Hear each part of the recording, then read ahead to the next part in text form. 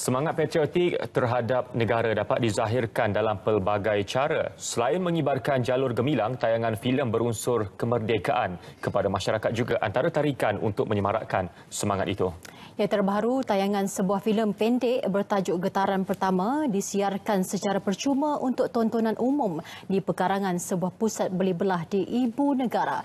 Ini inisiatif konglomerat eh, Aziata Group Berhad dan anak syarikatnya Selcom Aziata Berhad. Dan untuk laporan penuh kita bersama dengan wartawan Syamira Sufri.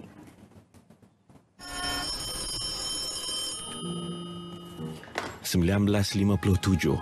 ...di mana bermulanya... ...sebuah sejarah...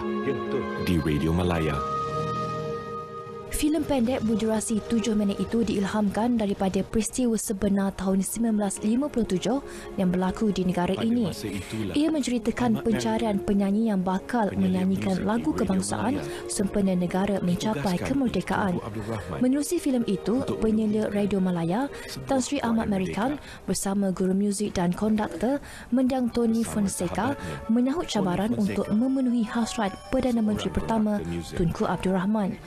Perdana Menteri mahu melihat warga Malaya tanpa mengira bangsa, agama, jantina dan latar belakang membuat persembahan kuaya sempena perisytiharaan kemerdekaan negara. Like seriously kata, memang pada awalnya saya tidak tahu apa yang akan berlaku waktu dikena panggil untuk terima job ini. But lepas saya nampak Selcom pula yang menjadi mastermind di sebalik advertisement ini, saya rasa, wow, first time first time tu dapat jadi, jadi terfeature dalam sebuah advertisement bagi syarikat telco. Actually, I um, I joined the choir. Uh, I think uh, last year when I heard on the radio there's uh, advertisement uh, looking for singers. So I joined the choir. Uh, I, I felt very satisfied and happy that uh, it's actually something that I wanted to do for a long time lah. Inisiatif Aziata dalam penerbitan filem tersebut berjaya menyemarakkan semangat patriotisme dalam kalangan masyarakat berbilang kaum.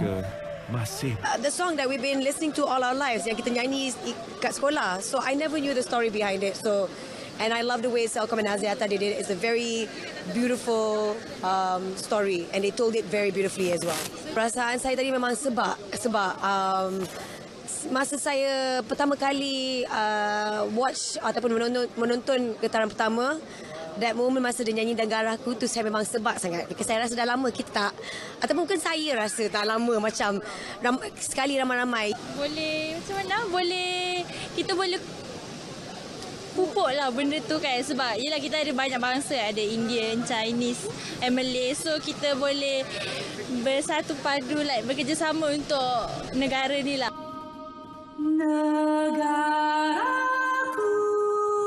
Selepas tayangan filem itu, penonton berpeluang menyaksikan persembahan kuaya yang menyanyikan lagu negaraku di bawah pimpinan mendiang Tony Fonseca menggunakan teknologi hologram.